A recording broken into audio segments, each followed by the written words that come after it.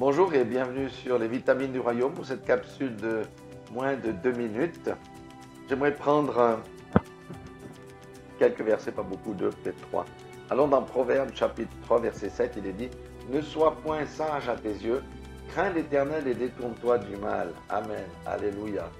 Ne sois point sage à tes yeux. Aujourd'hui, il y a beaucoup de gens qui sont très sages à leurs propres yeux, qui clament avoir la sagesse. Dans les temps anciens, nous avons eu des grands philosophes comme Platon, Socrate, des gens très sages qui ont impacté avec leur philosophie et leur pensée notre civilisation. Mais laissez-moi vous dire une chose, ce sont des insensés.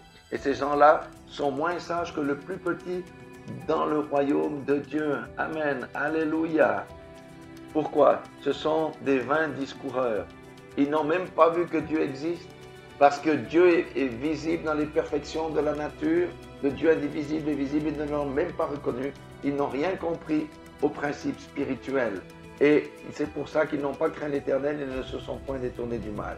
Mais voyez, pour ceux qui connaissent Dieu, tous les petits dans le royaume, il est dit dans Proverbe 13, 14, l'enseignement du sage est une source de vie pour détourner les pièges de la mort. Sachez que vous tous qui craignez l'éternel, qui lisez sa parole, qui mettez en pratique la parole. Vous êtes plus sage que tous les philosophes du monde entier parce que vous êtes une source de vie qui détourne les personnes des pièges de la mort. Amen.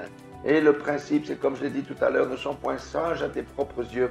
Crains l'Éternel et détourne-toi du mal, car la crainte de l'Éternel est le début de la sagesse, et la sagesse de l'Éternel est vraiment un bienfait. Soyez tous bénis et ne vous sentez pas dévalorisé par les gens qui vous paraissent plus intelligents que vous, car ils ne le sont pas.